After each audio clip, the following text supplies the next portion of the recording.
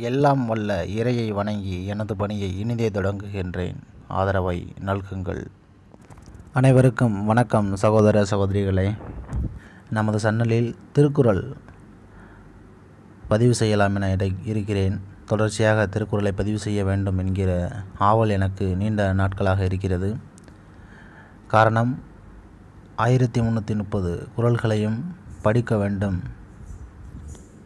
என்கிற ஆசை அதை கடைபிடிக்க வேண்டும் என்கிற அந்த உயரிய எண்ணம் அதற்கான சிறு முயற்சியாக இதை நான் முயற்சி செய்கிறேன்.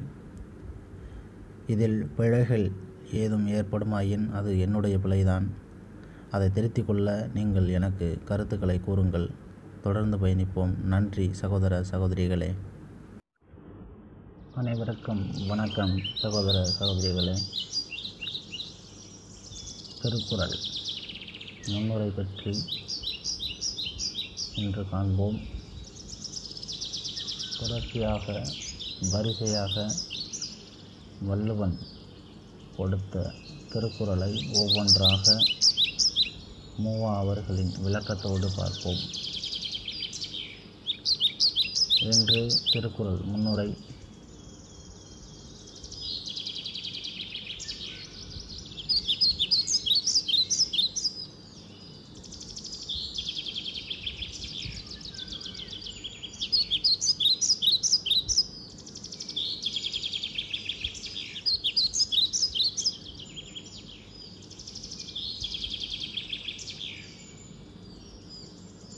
ஆயிரத்தி எண்ணூற்றி பன்னிரெண்டில் முதன் முதலாக திருக்குறள் அச்சிடப்பட்டுள்ளது. திருக்குறளின் நூலாசிரியர் திருவள்ளுவர் முப்பால் இதனுடைய உண்மையான தலைப்பு. அறம் பொருள் இன்பம் என்று மூன்று வகைகளை குறிப்பதால் இதற்கு முப்பால் என்று பெயர் வந்துள்ளது. செயற்பாட்டில் இப்போது செயற்பாட்டில் உள்ள தலைப்பு என்பது திருக்குறள். தமிழ்நாட்டில் இயற்றப்பட்ட இந்நூல் இந்திய முழுமைக்கான நூல் உலகம் முழுமைக்குமான வாழ்வியலை எடுத்து கூறும் தமிழ் நூல் தமிழ் மொழியில் எழுதப்பட்டது. பதினெண் கீழ்கணக்கு வகைகளில் திருக்குறள் இடம்பெறுகிறது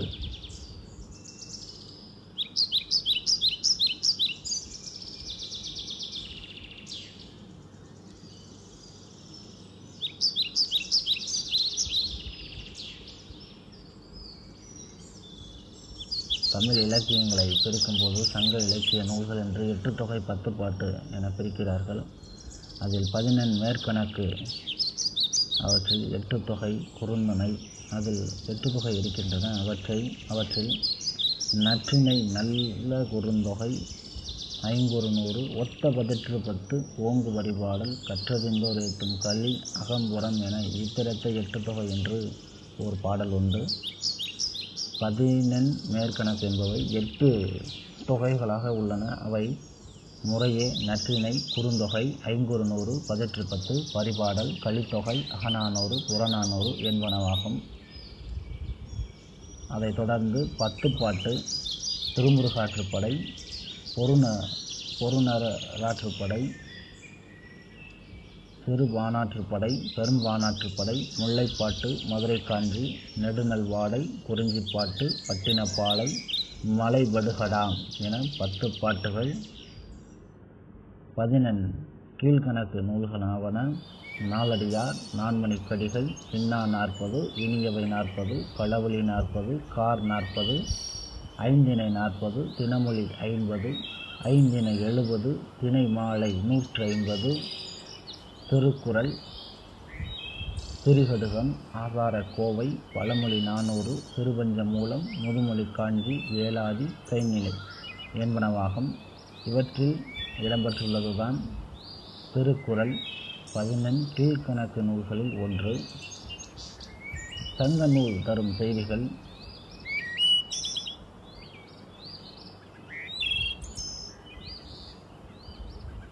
திருக்குறள் பற்றி ஒரு பாடல். தேவர் குரலும் திருநான்மறை முடிவும் மூவர் தமிழும் முனி மொழியும் கோவை திருவாசகமும் திருமூலர் சொல்லும் ஒரு வாசகம் என்றுணர் என்று ஒரு பாடல் உள்ளது. இதில் தேவர் குரல் என குறிப்பிட்டிருப்பது திருக்குறள் என்பதாக வரலாற்று ஆய்வுகள் தெரிவிக்கின்றன.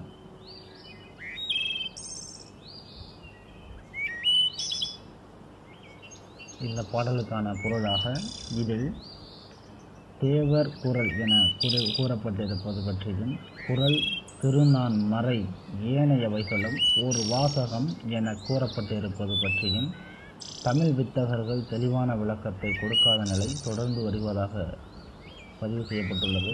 திருக்குறள் நூலானது திருவள்ளுவனின் தற்சிந்தனை அடிப்படையில் தமிழ் மொழியில் இயற்றப்பட்டது. மேலும் திருக்குறளில் கூறப்பட்டிருப்பவை உலகின் பல்வேறு சமயங்கள் வலியுறுத்துபவையுடன் ஒப்பிட்டு அது பல்வேறு சமயங்களுடனும் பொருந்துவதாக பல்வேறு சமயத்தாரும் ஏற்றுக்கொள்ளப்பட்டதாக கூறப்படுகிறது. ஆனால் அது வள்ளுவர் எழுதும்போதே அது உலக வாழ்வியலுக்கான நூலாகத்தான் அதை படைத்துள்ளார். திருக்குறளின் வரலாற்றை இப்போது காண்போ காண்போம். திருக்குறள் இயற்றப்பட்ட காலம் இன்னும் சரியாக வரையறுக்கப்படவில்லை. இந்நூல் ஏறக்குறைய இரண்டாயிரம் ஆண்டு பழமையானது என்று கணிக்கப்படுகிறது. மறைமலையடிகள் செய்த ஆராய்ச்சியின் பயனாய் தமிழ்நாட்டில் ஆண்டுகளை குறித்த திரு திருவள்ளுவர் ஆண்டும் பயன்படுத்தப்படுகிறது. இதன் அடிப்படையில் திருவள்ளுவர் ஆண்டு என்பது பொது ஆண்டோடு முப்பத்தோரு ஆண்டுகள் கூட்டி கணக்கிடப்படுவது என்பது நாம் பள்ளி பருவம் முதலே அறிந்து வரும் விடயம். திருக்குறள் என்பதற்கான பெயர் காரணம் என்ன என்பது பற்றி பார்க்கலாம். திருக்குறளில் இடம்பெற்றுள்ள பாடல்கள் அனைத்துமே குறள் வெண்பா என்னும் வெண்பா வகையைச் சேர்ந்தவை. அக்காலத்தில் இவ்வகை வெண்பாக்களால் ஆகிய முதல் நூலும் ஒரே நூலும் திருக்குறள்தான் குறள் வெண்பாக்களால் ஆனமையால் குறள் என்றும் அதன் உயர்வு கருதி திரு என மதிப்பை கொடுக்கும் அடிப்படையில் திரு குறள் என்ற அடைமொழியுடன் கூடிய நூலாக நாம் இப்போது அதனை திருக்குறள் என்றே பயன்படுத்தி வருகிறோம். திருக்குறள் என்பது உலக மக்கள் அனைவருக்கும் எந்த காலத்திற்கும் பொருந்தும் வகையில் அமைந்தமையால் இது உலக பொதுமறை என்றும் அழைக்கப்படுகிறது. எந்த விதத்திலும் குறள் என்ற தமிழ் சொல்லின் பொருள்கள் எவை என்பதை இன்று வரை தமிழ் விட்டவர்கள் அறிய இயலவில்லை. இதற்கு காரணம் முன்னைய இன்றைய தமிழ் விட்டகர்கள் தொல்காப்பியன் உரியில்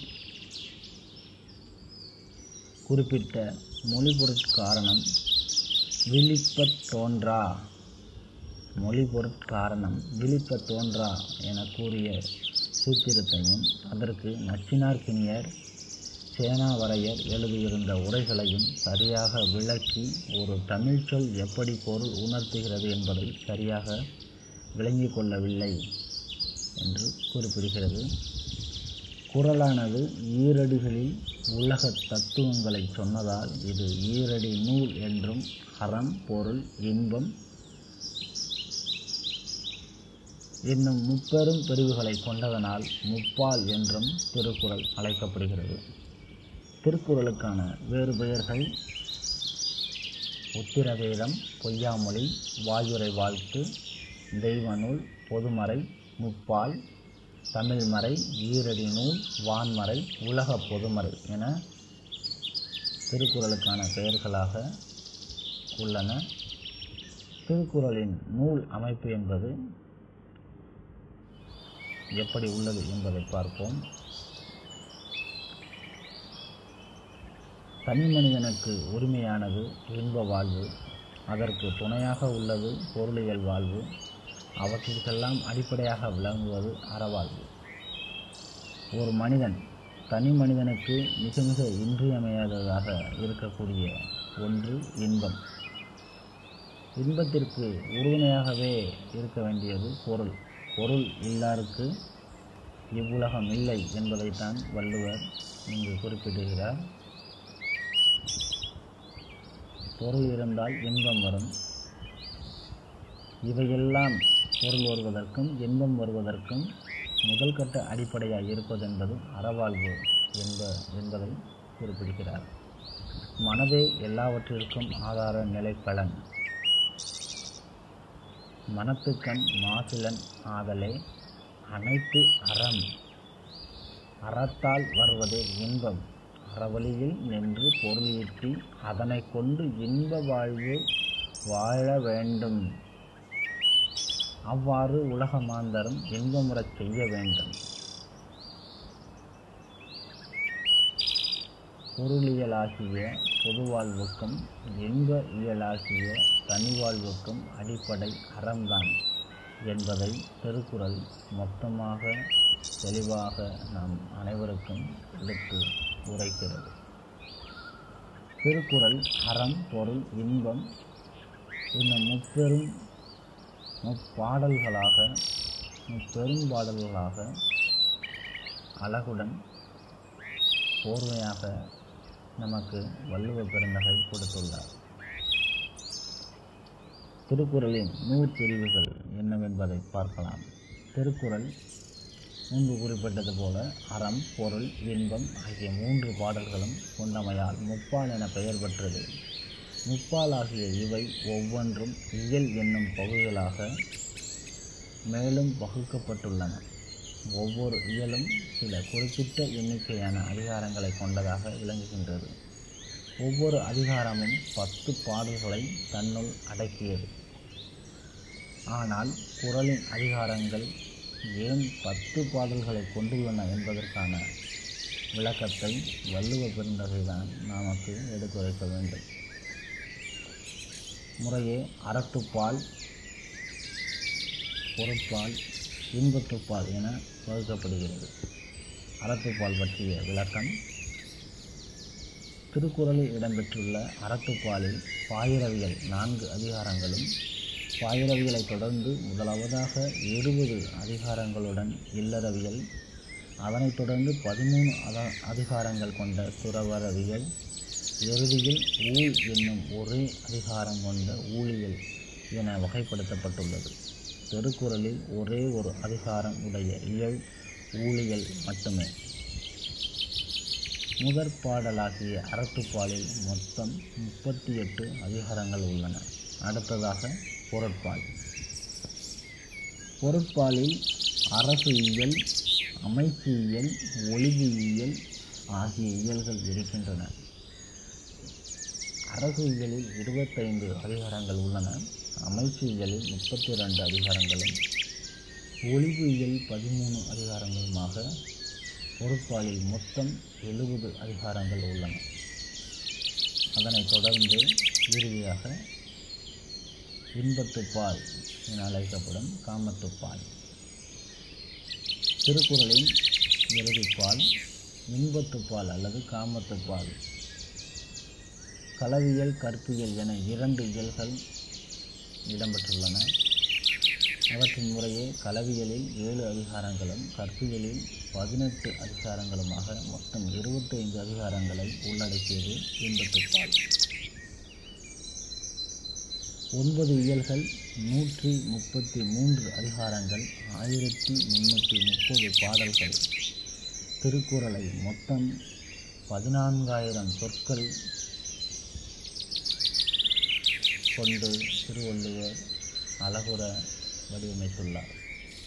திருக்குறள் நூலமைப்பை பொறுத்தமட்டில் அது மூன்று பெரும் பிரிவுகளை கொண்டுள்ளது. பாயிரத்தில் வகுக்கப்பட்டுள்ள நான்கு அதிகாரங்களும் கடவுள் வாழ்த்து அறம் வலியுறுத்தல் நீத்தார் பெருமை என்பவை மக்களின் முழு கட்டுப்பாட்டிற்கு உட்பட்டதாகவும் வான் சிறப்பு மற்றும் மக்களின் முழு கட்டுப்பாட்டிற்கு அப்பாற்பட்டதாகவும் வடிவமைத்துள்ளார். திருக்குறளும் அதில் உள்ள எண் குறித்த தகவல்களையும் தொடர்ந்து பார்க்கலாம். திருக்குறளில் மூன்று பாடல்களும் ஒவ்வொன்றிலும் முப்பத்தி நான்கு பாயிரவிகளை நீக்கி எழுபது இருபத்தைந்து என்ற எண்ணிக்கையான அதிகாரங்கள் உள்ளதாக அமைக்கப்பட்டு அந்த எண்களின் இலக்கங்களை கூட்டினால் ஏழு என்ற கூட்டெண் வரும் விதத்திலும் நூல் அமைக்கப்பட்டுள்ளது. மேலும் ஒட்டுமொத்த அதிகாரங்களான நூற்றி முப்பத்தி மூணு மூணோடு எண்களை கூட்டினால் கூட்டெண் ஏழாக வரும். விதத்திலேயே திருக்குறள் அமைக்கப்பட்டுள்ளது. ஒட்டுமொத்தத்தில் திருக்குறளின் நூலமைப்பானது ஏழு என்ற எண்ணிற்கு அதிக முக்கியத்துவம் கொடுக்கும் விதத்தில் தான் அமைக்கப்பட்டுள்ளது. அதே வேளையில் திருக்குறளின் நூலமைப்பானது மூன்று மூன்று நான்கு ஒன்பது பத்து என்ற எண்களுக்கும் முக்கியத்துவம் கொடுத்து அமைக்கப்பட்டுள்ளது. இவை தற்செயலாக நடைபெற்றதா இல்லையா என்பது பற்றியும் வெண்கள் எங்கேனும் தமிழரின் வாழ்வியலில் நெறிமுறைகளில் முக்கியத்துவம் பெற்றுள்ளனவா இல்லையா என்பது பற்றியும் இந்த எண்கள் ஒரு குறிப்பிட்ட போதனையில் முக்கியத்துவம் பெறுவதாக இருந்தால் அது எது என்பதையும் இன்று வரை ஆய்வாளர்கள் தேடிக்கொண்டுதான் உள்ளனர். மற்றைய புறத்தில் மற்றைய புறத்தில் திருக்குறளின் ஆரம்பத்தில் வைக்கப்பட்டுள்ள நான்கு அதிகாரங்களும் என்ன அடிப்படையில் வைக்கப்பட்டுள்ளன? அவைகள் ஏதாவது போதனையில் அடிப்படையில் வைக்கப்பட்டுள்ளனவா? இல்லை வேறு காரணங்களுக்காக வைக்கப்பட்டுள்ளனவா என்பதையும் தொடர்ந்து ஆய்வாளர்கள் ஆராய்ச்சி செய்து கொண்டுதான் இருக்கிறார்கள். நன்றி உறவுகளே. தொடர்ந்து ஒவ்வொரு பாடலாக மூவா உரையோடு திருக்குறளை ஆயிரத்தி முந்நூற்றி முப்பது குரல்கள் குரல்களையும் பார்க்க இருக்கிறோம். குரலும் அதற்கான மூவா உரையையும். அதன் பிறகு திருக்குறளுக்கு புதிய மணக்குடவர் முதலுடைய உரையையும் இதன் பிறகாக பார்க்க இருக்கிறோம். நன்றி சகோதர சகோதரிகளே.